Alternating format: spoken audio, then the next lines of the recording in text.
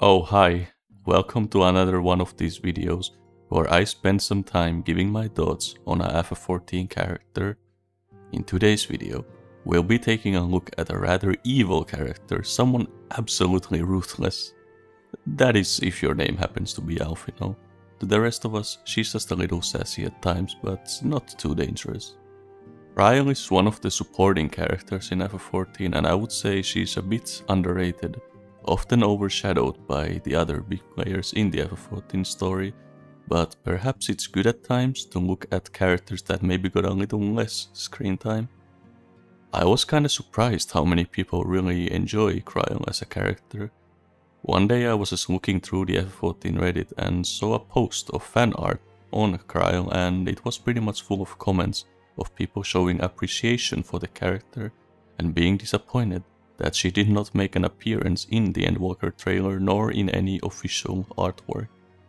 So it kinda made me want to talk about it, cause looking back, yeah, she is a pretty awesome character.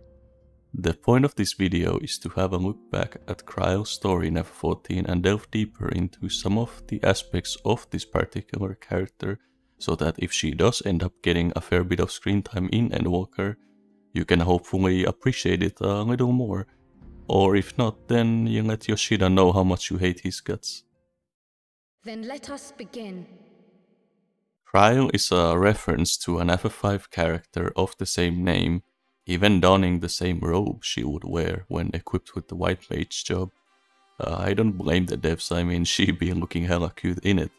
The biggest benefit of her addition to FF14 was that I was able to finally figure out the way her name is pronounced as I always wondered between Krile and Krilay, though I myself would always like to call her Cara as that was her name in the RPG translation of FF5, uh, a game I've replayed a dozen of times. Coming back to FF14, Krile of course isn't a Dunesfolk name, and as such it conveniently is not her real name, but an adopted name. Well, her name is kind of a flustercut. In Japanese, her name, Kururu does fit a Lalafell name, which is her original FF5 name as well as the one she was called in some of the fan translations of said game, but in the English script they had changed her name to be Krile to go along with the modern renaming of her, so they had to make up this idea that she got an adopted name for that version specifically and to make it even more confusing, it's possible that her real name in the English script is Kururu. Anyway, Krile has quite the memorable character introduction, arguably one of the strongest in the entire game. One contributing factor is the slow build-up from when she's mentioned until when she's introduced. She gets properly introduced in 3.1, but the organization she's in gets brought up already in 2.0 and she gets mentioned by name 2.3 when Minfilia is informed that she had survived. This is of course something Final Fantasy XIV likes to do a lot. Allude to things much earlier, make the world seem much larger by having us interact with only small parts of the world uh, as a whole and opening it up little by little with each expansion. But another thing that gives Krile a strong first impression besides the lead up is that she feels quite a nice role in the story. On paper, it seems like she's just another Archon from Sharlayan to bloat the cast, but there's three significant things in play here.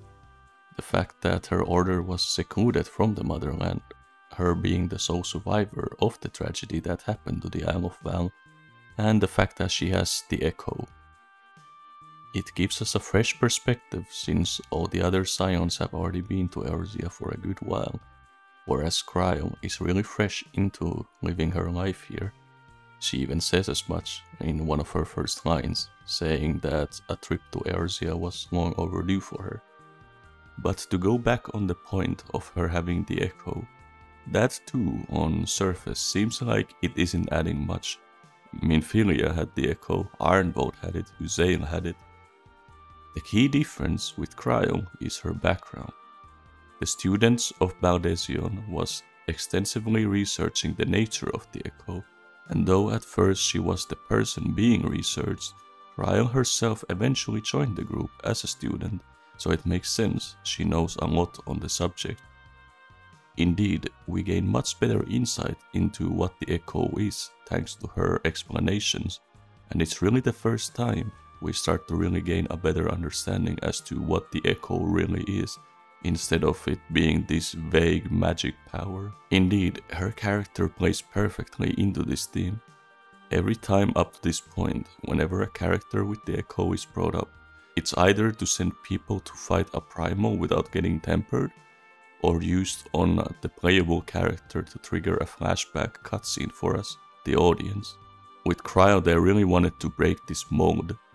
Not only does she come in and give you crucial knowledge of the Echo, but she herself has a unique power that she uses to achieve something completely different, and the writers use her to explore different ideas, such as what if a character was to artificially transfer over the Echo, which is what they did in 4.0 by the Garleans experimenting on Krile and creating the resonant concept.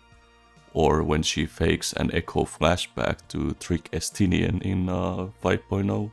These are cool ideas to make use of the echo and she was really the first notable character to do so and we got characters since then that used the echo for interesting purposes such as Tenzen or Mikoto it served to show that the Echo is truly something special and not just a convenient plot device made by the developers to allow us to have those convenient flashbacks every once in a while. As I said in regards to Reen, I give props to writers whenever they give a character some sort of a unique power and then actually utilize it in a logical way throughout the story. So many times you see characters getting stuff just to make them feel unique and cool, but they only use those powers like once ever, usually whenever they are introduced. Personality wise, Krile is overall a nice and caring person and is very polite. She dislikes it when other people act brusque around her. As with many Archons from Sharlayan, she is quite smart and knowledgeable, especially in things related to the Echo and Aetherytes, though she sometimes tends to miss some obvious things. A noticeable trait of her keen mind is her ability to read people, which she likes to use to her advantage, whether that's divulging people's intentions or tricking them by making use of their particular character traits, and it's another aspect of her character being very themed after her own unique echo abilities, with her having a heightened ability to converse with people and better read the intents of a soul. She was very close to Minfilia and also used to be a mentor to the twins and as such privy to some of their more embarrassing secrets, particularly those of Alphinaud, something she likes to remind us on a few occasions. In spite of this, she deeply cares about Alphinaud and plays somewhat of a big sister figure at times. Just as with Reen, we actually do get a surprising amount of insight into her childhood and how she was raised, though it is easily missable as it's only briefly brought up in Eureka. She was raised in an orphanage by the famous Archon Galuf Baldesion, and it was discovered when she was around 12 that she had the mystical power of the Echo. From the get-go, this meant that she was basically a special child and would receive a lot of attention, most of it being attention of the negative kind, unfortunately, Galuf wanted to study her power to discover mysteries behind the Echo, and she gave her consent to do so. Krile eventually joins the organization as a student herself. There, she came to receive contempt by some of the students who were bitter towards people with the Echo, since in their view, it allows such arbitrarily chosen individuals to have far more insight into things and become much more renowned than those without it for less work and effort. This led her to becoming very self-conscious, maybe even slightly insecure. In the end, mainly due to her loving adoptive grandfather, she got over it and in time, Krile even became fond of the memory of one Ejika, one of the people who were bitter about her unique power. Krile herself was often worried of what others thought of her since she was very conscious of her special powers and what it entailed, whereas Ejika cared little for the opinions of others. In this way, the two made for an ideal pair which Galuf noted and kinda used this relationship between them to allow Krile to grow as a person and overcome these negative traits and gain more confidence. Though she did get over it for the most part, it's likely that some elements of her upbringing still linger on. You have to keep in mind that she's still very young, only 22 years old. Another important thing to note about Krile's character is the traumatic experience she faced after the event with the Isle of Val. That is to say, we know for certain that she does suffer from survivor's guilt. This is made very apparent in Eureka Hydatos, where she enters the headquarters of the organization and is now directly facing the source of her trauma, which invokes a strong reaction from her.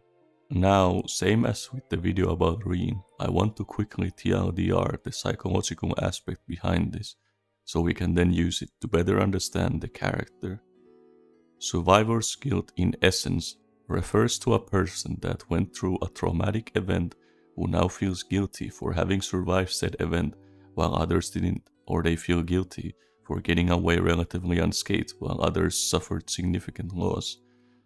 What differentiates it from normal grief of losing a loved one is that aspect of having these lingering thoughts which could manifest in different ways Maybe the person is haunted by the thought of why was it them that survived while these others died, or it could be them questioning themselves as to why they couldn't prevent it from happening, or the person questioning if maybe they themselves contributed to the event or caused it in some manner. So, how does this relate to Krile? I think it's a cool thing to explore it is pretty rare to see this kind of a character idea, or at least done to a significant extent. You often see civilians and villagers of destroyed places, and they may show signs of being traumatized, but they're often very inconsequential and do not develop throughout the game since they are just background NPCs. In Krile's case, they have an opportunity to explore it more in depth. One quirk that comes to mind as a result of this is her needing a lot of convincing with both Thancred and Unukalhai so she can trust and work with them. In Unukalhai's case, it kinda makes sense since uh, he's coming off as very ominous. But with Thancred, it's a bit irrational when you think about it. On the surface, you could say, well, she's working with this random rogue, of course she's skeptical. But it's not just a random rogue, is it? It's Archon Thancred, a very well-known student of Louisoix and someone who played a pivotal role in helping the realm, both when he was part of the Circle of Knowing and when he joins the Scions following the 7th Umbral era. Not to mention, he got them out of a tight spot with the Warriors of Darkness shortly beforehand, so it really isn't that rational for her to be doubting his intentions or motivations. It's possible that these kinds of trust issues could be a result of her troubled childhood but it could also be a result of the traumatic event that she went through. Another trait that probably stems from this are her sassy remarks, uh, funnily enough. People suffering from PTSD often utilize different types of coping mechanisms, and given how often she fires off these sassy remarks, it's very probable that this is the coping mechanism that she chooses to use. Now that we've established the basis for her character, we can have a look at her character arc and subsequently what direction we might expect for her character to be taken in a Endwalker. Let's rewind to 3.1 then. She's introduced as a character with the Echo and sheds some light to the group and us, the player, as to what the Echo is, as well as a crystal of light. The reason she's there is to offer help in finding the Scion's still missing members Thancred and Minfilia. She managed to do so thanks to her unique ability as given to her by the Echo, which is described as the ability to hear the whispers of a soul. We'll get into that later. Anyway, so she uses the ancient crystal of light provided by Matoya and tracks down Thancred. She then joins the Scions of the Seventh Dawn. A quick note here, cause I saw this confusing some people who were claiming that Krile isn't actually a scion. I think the confusion comes from the fact that there was never a scene acknowledging it, she kinda just joins off screen after the events of 3.1. Anyway, after joining the Scions, she makes great use of her unique echo ability and uses it to track down Minfilia, recognize that Estinian is still alive inside Nidhogg's shade, attempting to locate and subsequently taking care of the Scions after they were summoned to the first, and so on. She also helps the Warrior of Light, Unukalhai and the others to resolve the Warring Triad crisis. This questline, as well as the events during Heavensward, are important for Krile, as she gains a ton of hands-on experience on living in Eorzea, place most tumultuous and filled with danger. Initially, she shows quite a lot of fear when facing these challenges, namely when she first encounters Sephirot, or when she first witnesses Nidhogg's rage, as well as later on when she meets Zenos and in Eureka. If you pay very close attention to her voice, you can actually hear it progressively gain more confidence and determination. Seeing this kind of growth in her throughout the course of the expansions is pretty awesome to see. Like I said, keep in mind, she's still young and though she's a very accomplished student and a powerful healer, she nonetheless lacks experience and had a troubled past between her having less than ideal upbringing and the trauma that came with her entire hometown being obliterated. When the time comes to reclaim Ala Mhigo, she ends up joining the resistance, playing an important healer combat role to the resistance. She's a long way from home now, fighting a war very distant from her homeland and though she could return at any point to the safety of Sharlayan, she is already too invested into being a scion and helping Eorzea, and so she helps the Ala Mhigans with this war over their liberty. There's actually a scene I would like to point out here because it's pretty great. It's where Krile ends up grilling the warrior of light forces standing there instead of helping to patch up Y'shtola, especially if you happen to play a healer. Don't just stand there gawping. You're a healer, aren't you? And she stays calm and composed throughout the situation, even though everything's going to shit all around them. Uh, this is a nice example of show, don't tell, as we get to actually see that Krile is a pretty competent healer, and it also reflects her growth from earlier when she would easily be afraid under these kinds of situations. Some people got a bit irked by it because you are the legend, the warrior of light, and she's firing orders at you.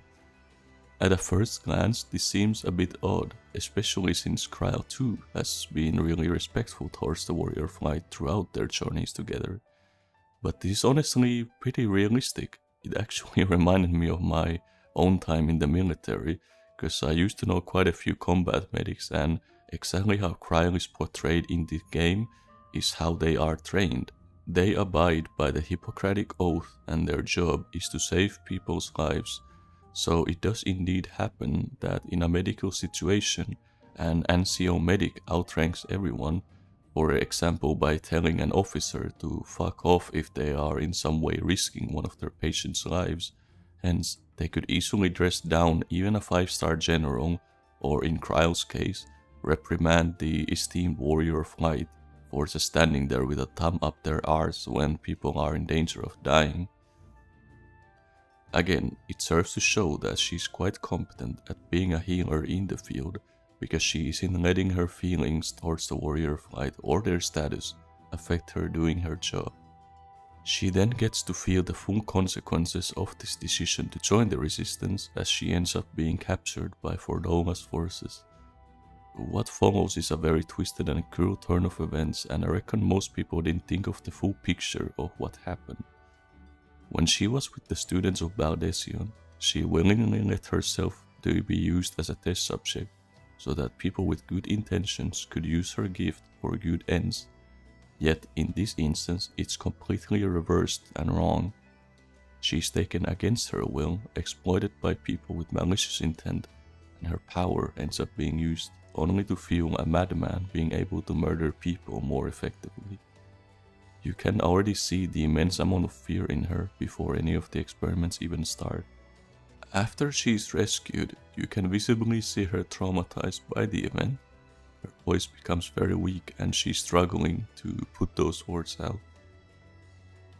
Luckily, she gets a chance to escape from it when it's revealed that the Isle of Val has been located in the Glass Ocean, and she asks the aid of Hancock, Rowena, and the Warrior of Light to help her discover the mystery behind all of this.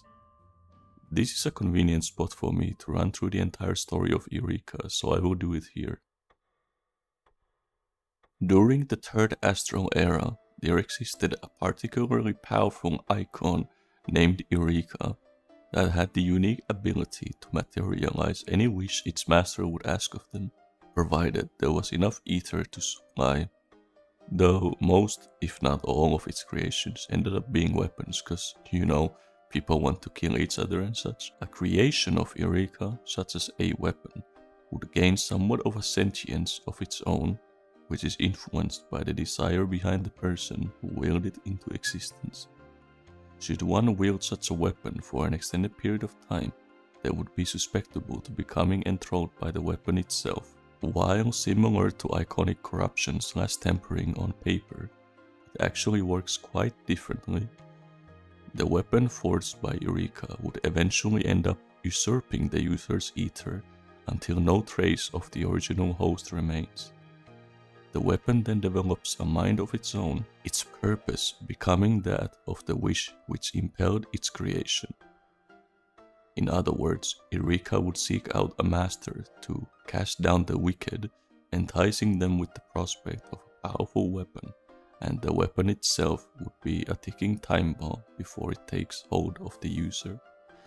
Eureka itself was imprisoned by a warrior of light, being trapped in much the same way as Koryu was through the usage of a crystal of light, which could help explain its weird Rubik's Cube form. The Allagans eventually got a hold of Eureka, who then deemed the icon and its weapons too dangerous and locked it away beneath the Crystal Tower alongside all the weapons it had forged. During the Sixth Astral Era, Galuf Baldesion and three other people, who would be the founders of the Students of Baldesion, came to learn of Eureka's existence. Their headquarters were located in the Isle of Val, a very hostile environment and, despite its vicinity to the motherland, most Sharlayans refused to settle there. The students of Baldesion got around this danger mainly by making heavy use of aetherytes that comprised an elaborate aethernet connected to aethernet relays. The organization existed primarily to observe and gain insight into the power of the Echo, particularly that which manifested in Krile, although there was another more sinister reason for its existence. The island was built to house the primal Eureka that Galuf and three of his companions sealed away when they realized that they would be unable to defeat it. They also recovered weapons created by said primal and stored it into a vault within the island. The island was to be the primal's prison. The research into the Echo and documenting Eureka were both done for the same purpose, find a way to destroy the primal. Galuf and company then used the Aetheryte network to divert the ethereal currents to turn the Isle of Val into an arcane world. The goal was not only to seal the primal though, he then inverted the pattern, thus reversing the ethereal flow.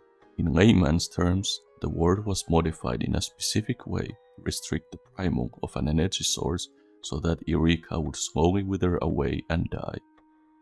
This plan came into jeopardy when the Ascians figured out where Eureka was being hidden. Galuf figured that due to Eureka's ability to synthesize anything into existence, the Ascians could pull all sorts of dangerous schemes utilizing it to bring about a calamity, as it would drain the entire land of Ether in its attempt to create something massive.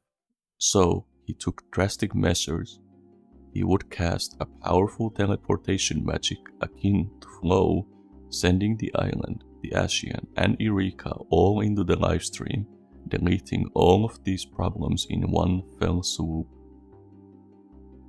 And so the entire island vanished in a blink of an eye.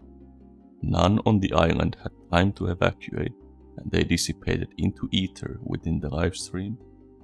Krile was the only survivor of the teleportation who survived thanks to her blessing of light. When hearing of these events, the Scions wrongly assumed that the Isle of Val was targeted by Ascians or the like, unleashing a destructive magic akin to Ultima. What Galuf didn't bank on, however, was that the Primal was so powerful that sooner or later it was able to expend most of its energy pull back the island from the Lifestream, hence it resurfacing on the other side of the world.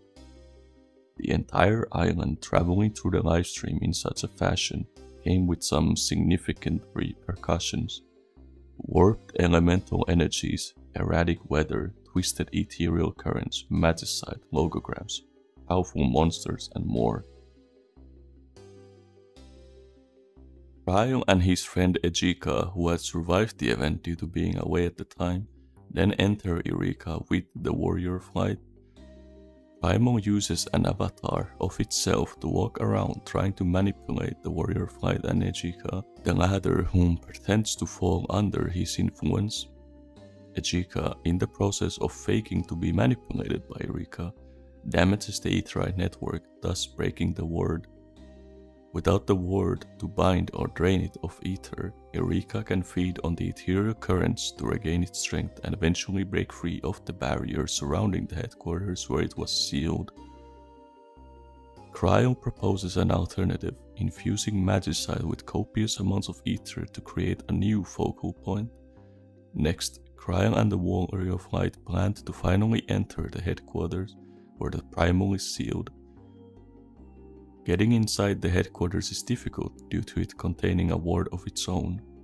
Under normal circumstances, a student of Baldesion could easily gain access by teleporting inside, but a high concentration of ether around the ward makes teleportation way too risky. She instead proposes to visit via a backdoor, so to speak, to allow individuals without the capability to teleport access to the headquarters they constructed an ether bridge that would bring them to the entrance. Krile intends to restore the bridge and use it as a way to enter the headquarters. Inside the headquarters, a lot of memories come flooding in and Krile has that strong reaction I mentioned earlier. She is unable to confront it however as there are more pressing matters to worry about. To restore the ward, Krile has to disable the restraints that keep the primal sealed she does so, and Ejika allows the warrior of light to destroy Eureka's avatar. The only thing left then was to get rid of Eureka itself. The Primal was weakened a ton after returning from the Lifestream, which presented them the opportunity that did not exist for the four founders, destroying the Elder Primal for good. There's two options that the player can choose from with the same outcome, both options involve Ejika sacrificing himself to defeat Eureka, but shortly before Eureka drained him of all his ether, he would retreat into the Lifestream similar to Y'shtola casting Flow and then re-emerge once Primal was dead, and in both options, when Eureka is defeated, its ether wouldn't be given back to the ethereal realm like would normally happen with Primal's dying. This was due to the presence of its weapons. Having become primals in essence, the weapons would have been quick to absorb such untethered ether. If you maintain the ward, this means that the primal cannot be defeated for good. If you sacrificed Ejika, this meant that he was being cucked from being able to re-emerge from the Lifestream, which means that you have to essentially clear a Baldesion arsenal to get the full ending.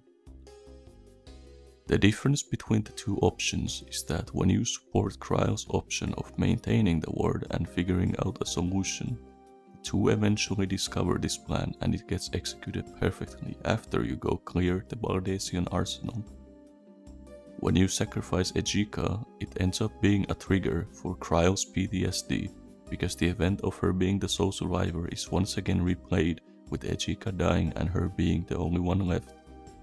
Luckily, the warrior of light is able to pull her out of it and in this path, Krile uses her echo skill to discover Ejika's plan by following the trail of his etheric essence. She went all the way to Gridania to learn the technique they had used in plucking Y'shtola out of the Lifestream, and she's confident she can pull off the same with her keen ability to read souls, after which she does indeed recover Ejika from the Lifestream.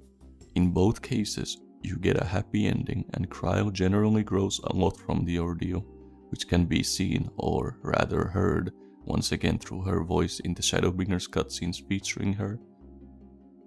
So, the entire Eureka story is then wrapped up in a neat little bow, right?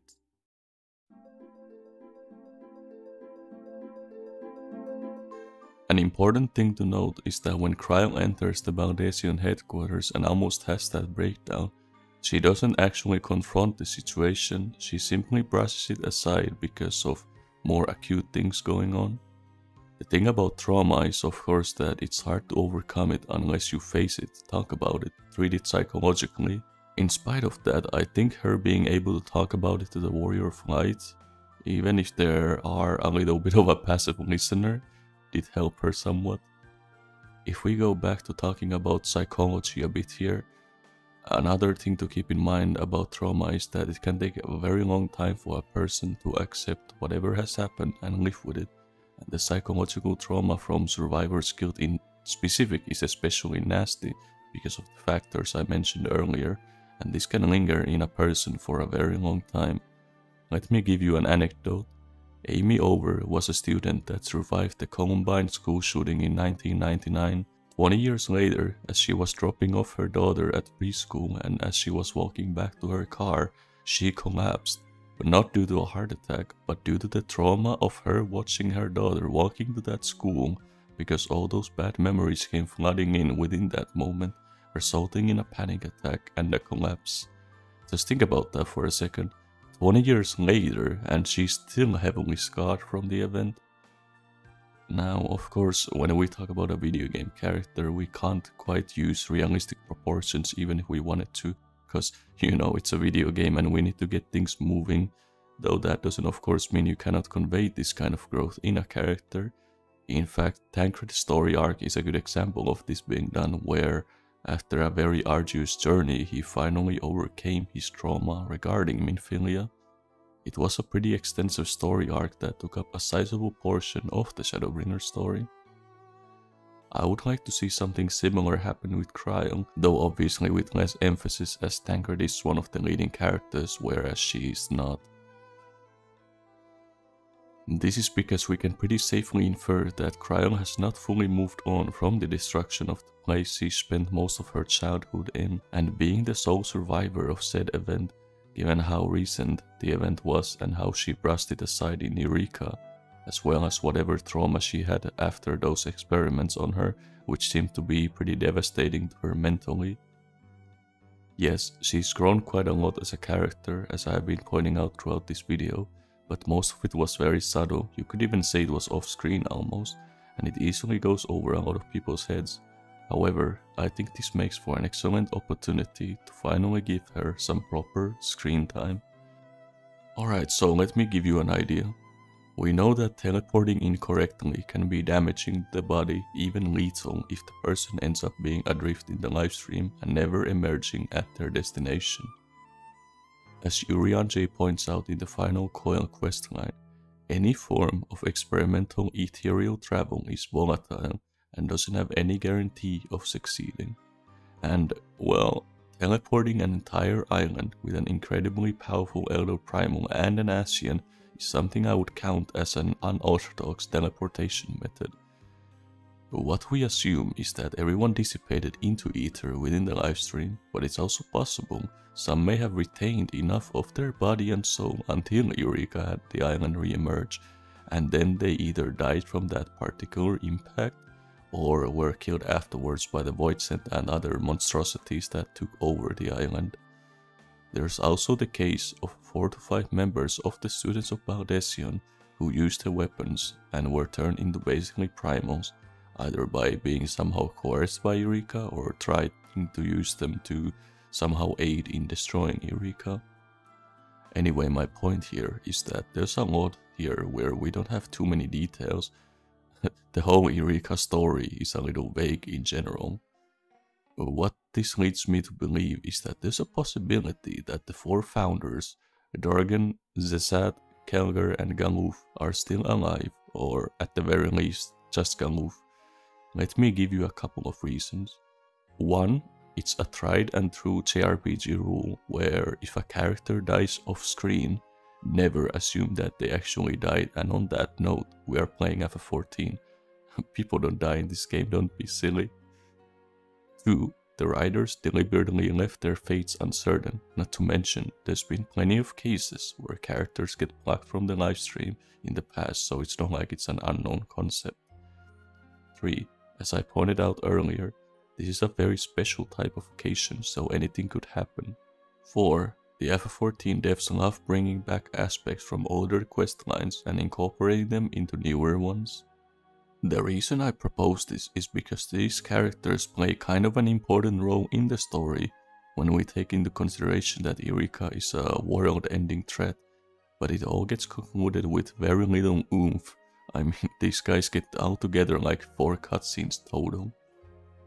It also felt like they were trying to set up some kind of a character with Galuf Probably similar to how he is in FF5, this kind of slightly goofy and impulsive but really straightforward no-nonsense type of an old guy with a heart of gold and very loyal to his comrades.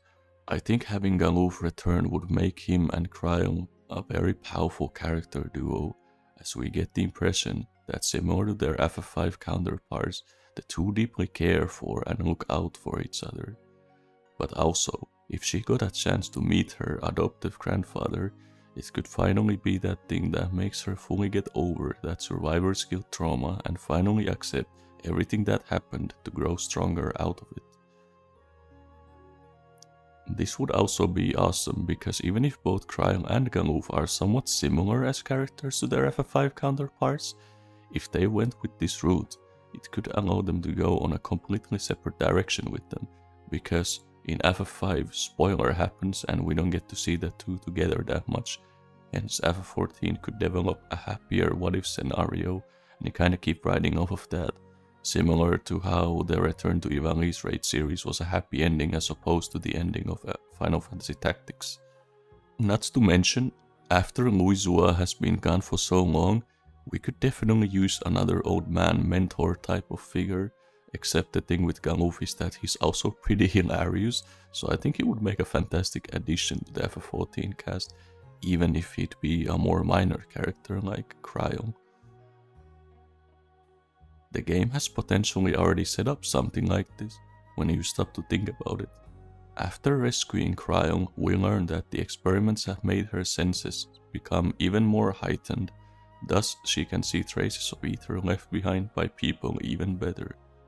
Then we have Eureka, where in one of the outcomes, she visits Gridania and straight up learns from the Seed Seers how to pull someone out of the Lifestream as was done with Y'shtola, and she uses this to great effect as she is able to pull Ejika out from the Lifestream.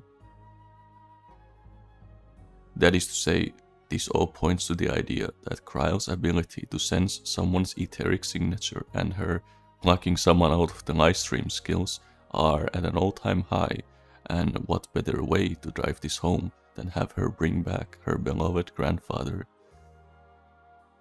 Of course, the issue with Galuf is that there's two possibilities. He either got obliterated when Eureka made the island re-emerge, or he has been adrift in the Aetherial Sea all this time, which will make it very difficult to have survived all this time chilling there. Urianger describes the situation thus if it be so, I do fear for our friend. Contrary to its name, the Lifestream is more akin to a raging torrent, linger over long in the midst of its maelstrom, and the ether that formeth one's soul shall surely be scattered, never to be reformed. This indicates that prolonged periods of time spent in there makes it exponentially more difficult to get out. Consider that Galuf and the others teleported the island all the way back in 2.2, hence a considerable amount of time has passed. So regardless of what happened to him after the teleportation, the odds of him surviving seem rather bleak at best. But again, consider that this is a very exceptional set of circumstances. Galuf in this game seems like a pretty sharp guy, so I could imagine he might have set up some kind of a contingency plan to help him or even everyone on the island to come out alive from this situation. What this plan could be, I don't know. I'm not a writer, but he could have potentially tricked Eureka into making some kind of a weapon that would have helped them survive the trip as an example. Then, in Endwalker, perhaps Krile discovers that Galuf could be recovered, maybe discovering some kind of tech, where, uh, whether that be from the concepts left by the ancients on the moon, um, or within archives in Sharlayan to allow her pull someone out of the Lifestream even if next to nothing of their soul remains, if she happens to have a very strong connection to them. To limit this so that she can't just do this to any random character, you could just make it be a one-time thing. Maybe she does it once and it was so taxing that her senses weakened permanently, something along those lines. I've talked about Krile suffering from survivor's guilt throughout this video and how it's a part of her character, Here's a badass little way you could reflect her growth. Remember that coat she wears? Well, turns out it even has a name. It's called the Coat of Nine Lives. Galuf himself gave it to Krile as a present. The large ears on the cape are intended to act as a symbol of the echo, and the garment itself represents Galuf's belief that powers such as Krile's are individual traits and nothing to be feared. Krile of course grew very fond of the outfit and so she kept using it up to this day. The problem with that however is that while it is something to honor the memory of Galuf, it also serves to potentially remind her of that traumatic event. Perhaps a change of glamours is in order for Krile? FF14 certainly likes to do it a lot, represent character growth through outfit changes, and I certainly could see something similar happening with Krile especially when you consider this artwork where you see her without the hood. I talked about this with Reen that the Japanese rely heavily on hair to kinda symbolically convey changes within a character. In FF9, Garnet cuts her hair after a spoiler. In FF14, Ryne's hair color changes to indicate her finally finding her own resolve. That kind of stuff. Her revealing her hair could be symbolic for her finally accepting her being a survivor of the incident and the removal of the cowl would be a sign that she is no longer running from her past, therefore she has nothing to hide.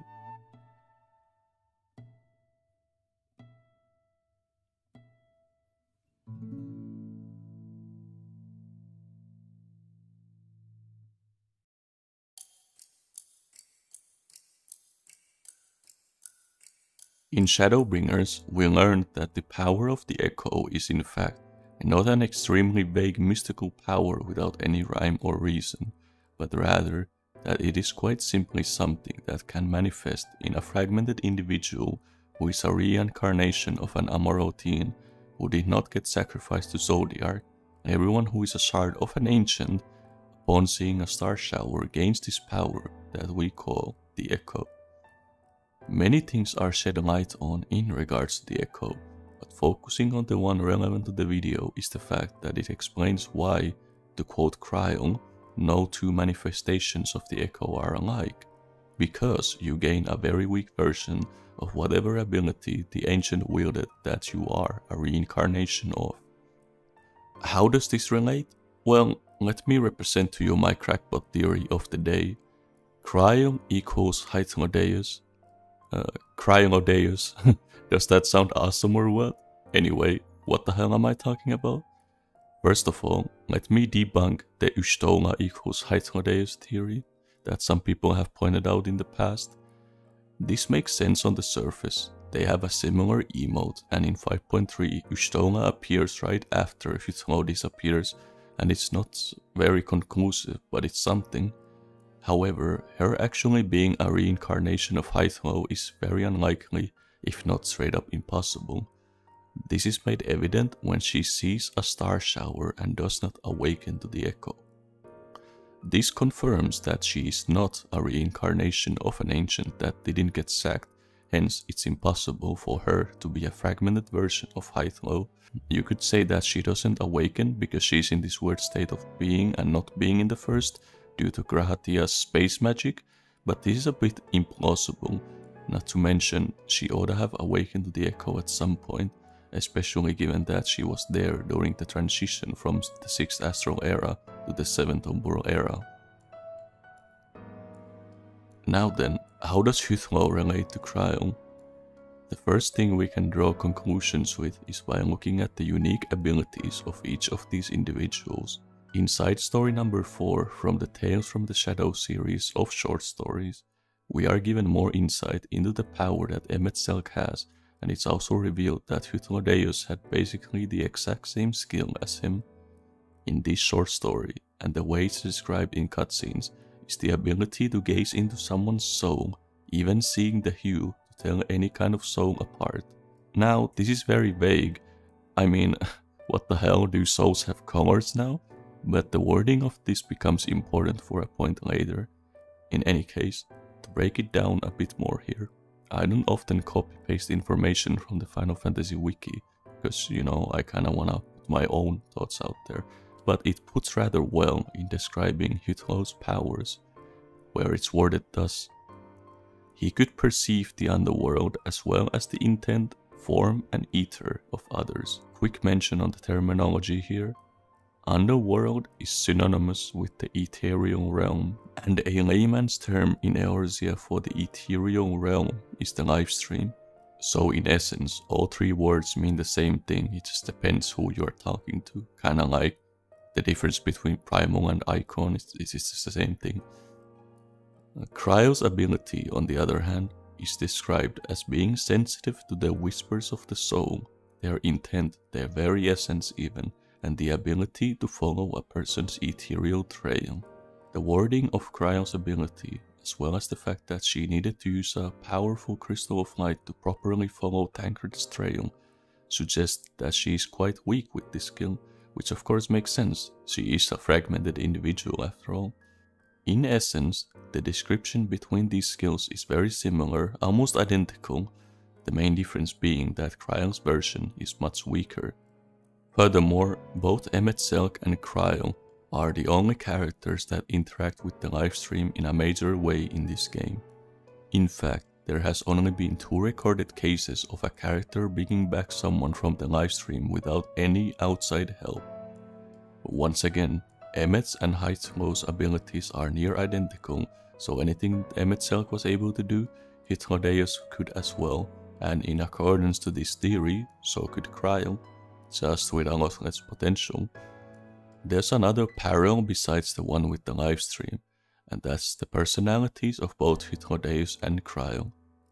In the short story, Hythlodaeus is constantly teasing and trolling Emet-Selch, just being sassy all around, yet still cares for him deeply. This is so similar, almost identical to how Krile enjoys teasing the likes of Alphinaud, but is still loyal and always there for them. Another thing I wish to point out here is that there aren't all that many characters with the Echo whose special powers are explicitly stated, nor are there that many ancients whose special powers are explicitly stated. Thus, through method of exclusion, we can find the most likely candidate for the powers of each ancient. Let me demonstrate this through this little presentation. First up, we have all the unsundered Ascians. Now, all these guys have their special powers, but they don't matter because they weren't sundered, thus no one would reincarnate as them. Then we have people from Amaurot. The only two with special powers that we know of are Hythlodaeus, who has a power similar to Emet-Selch as described earlier, and Azem, who had the ability to readily summon allies to their aid to great effect. Then let's look at characters with the Echo. First, we can write off all these people because their specific echo abilities are never explored. Tenzen has the ability to speak to animals, which by the way I would like to correct what I said in my Four Lords video, that the echo would innately let him speak to animals by the virtue of understanding all language. Krile straight up says she can't speak to animals, hence it was a power specific to Tenzen. Then we have Mikoto, who can see these visions of the future. Neither of these skills are represented by any ancient that we know as of now, so we can ignore those. Then we have the Warrior of Light and Ardbert, who are reincarnations of Azem, thus they share his ability to call allies upon their aid, albeit in a much weaker fashion. What does that leave us? Krile, whose echo ability is being sensitive to the whispers of the soul, and Hythlodaeus, whose special ability was being able to gaze into someone's soul and figure stuff related to that in great detail. Mind you, this isn't 100% conclusive as we simply haven't explored that many ancients or echo users, however, given the information we have now, it's the best educated guess we can make. Final point, I mentioned earlier the specific wording that is used to describe Hythlo's ability the hue of a soul. Well, it becomes relevant when we look at Zenos' first encounter with Fandaniel. He fires up his resonant ability and goes, That hue, your soul is. Who are you? This right here is a pretty clear-cut parallel as no one else, aside from Hythlodaeus, talks about souls as a hue or a color. Now, where do you think Zenos got that from? That's right, when Krile was being experimented upon. Remember what I said about Krile's sensitivity becoming heightened after the experiment? And then there's the thing she said when Estinian tells of his encounter with Zenos. This of course shows us that the experimentation amplified the ancient's ability, in this case Hythlodaeus's if we go with my theory, within both Krile and Zenos, and what we see there in his first time meeting with Fandaniel is that his skill with it is so strong that it's directly comparable to that Hythlodaeus. Now, of course, there is another theory related to this, which I will discuss in my video about Zenos, but for the purpose of this, I think it serves to give us another hint that maybe Krile is Hythlodaeus. Well, these have been my thoughts on my Krile equals Hythlodaeus theory, Keep in mind this is all speculation, and I reckon this might be something that will never be full on confirmed, even if it is what the writers intended, since it's always a good idea to leave in mysteries to your story that keeps nerds like me up at night. Regardless, I'ma be happy if something substantial does come from this. This is also where I'm gonna wrap up this video. I hope you enjoyed this video on Krile, otherwise known as one of the potatoes that most people actually like, and I'd be interested to know what do y'all think of Krile as a character? Are you excited to see more of her? Do you think they will bench her within the first 5 minutes of 6.0? Did you find my theory sound or less valid than Queen 69's assessment of F14? As always, if you enjoyed, subbing is an easy way to stick around for more character analysis videos and the like. In any case, have a nice day.